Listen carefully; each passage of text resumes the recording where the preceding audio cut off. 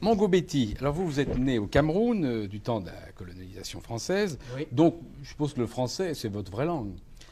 Ah, oui et non. Euh, C'est-à-dire que dans ma famille, on ne parlait pas le français, on parlait le béti, la langue, la langue des Yaoundé s'appelle le béti. En fait, c'est une, euh, un dialecte d'une, le dialecte d'une langue beaucoup plus vaste, de- qui est celle parlée par un peuple qu'on appelle les Fans, qui est un peuple qui habite à la fois le sud du Cameroun et le nord du Gabon. Cela représente environ 2 millions à 3 millions de personnes, donc c'est une langue euh, extrêmement importante qui ne s'écrit pas, euh, plutôt en raison du manque de, si vous voulez, d'équipement, parce qu'il Mhm. faudrait faire des, des caractères, par exemple, euh, pour éditer un livre. Et puis alors la transcription n'est pas très bonne pour le moment. C'est cette langue-là qu'on parle dans les familles, car je suis né dans une famille de paysans du sud Cameroun, du pays de Yaoundé.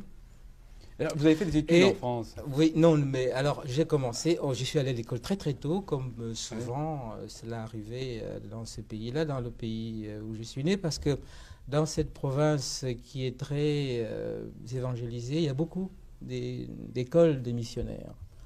Donc moi j'ai pu aller à l'école très tôt et on n'enseigne pas les langues du pays dans les écoles, on n'enseigne que le français. Et d'ailleurs il, était interdit de mon temps, maintenant euh, je suppose que c'est fini, de parler autre chose dans l'enceinte de l'école que le français. Ouais. Il y avait toute, toute une, enfin, toute une Donc, elle vous a de- été imposée, cette langue Oui, c'est ça, voilà. Mais vous y avez Et les- réussi admirablement, parce que vous êtes agrégé. euh, Euh, oui, alors finalement c'est la langue, euh, c'est la langue officielle du Cameroun, c'est le français est Oui, la seule je- langue. oui, d'accord, mais j'en viens à vous maintenant. Donc, c'est votre Oui. langue à vous maintenant. C'est votre, c'est la langue, c'est votre langue euh, non seulement euh, d'ar- d'artiste en tout cas. Oui, mais ça ne veut pas dire que, que le français soit sans problème pour un Africain. Le français po- pose beaucoup de problèmes. D'abord parce que c'est une langue qui nous a été imposée, d'une part. Euh, en plus, en plus c'est une langue, si vous voulez, qui définit un certain type de rapport entre nous et la culture française. Euh, type de rapport qui suppose une excessive dépendance. Comprenez-vous? C'est-à-dire que dans cette alliance où nous nous trouvons donc avec les Français, avec la culture française, nous partageons trop de choses, nous partageons euh, beaucoup d'inconvénients avec vous, beaucoup de, beaucoup de domaines où nous n'avons que des inconvénients le plus souvent. Par exemple, la monnaie, n'est-ce pas? Vous, savez que la monnaie a été dévaluée récemment. On n'a pas consulté les ministres de l'Afrique francophone qui, ont la même monnaie finalement que, la, monnaie française.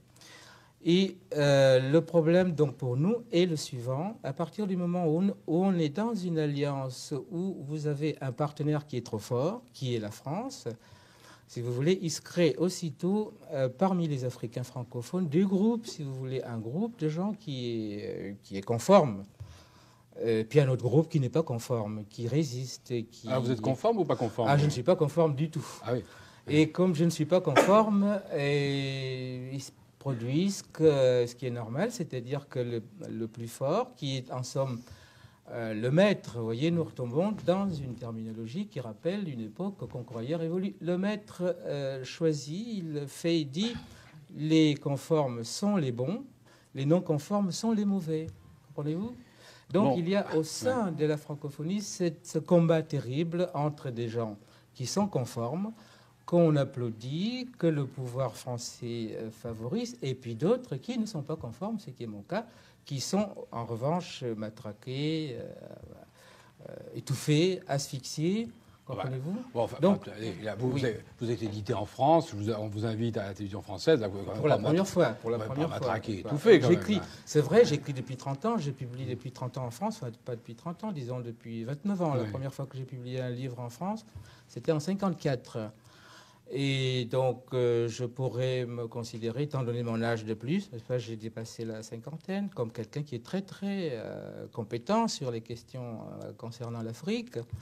Et cependant, euh, je ne peux pas, euh, si vous voulez, faire entendre ma voix là où elle serait, elle pèserait d'un poids euh, considérable.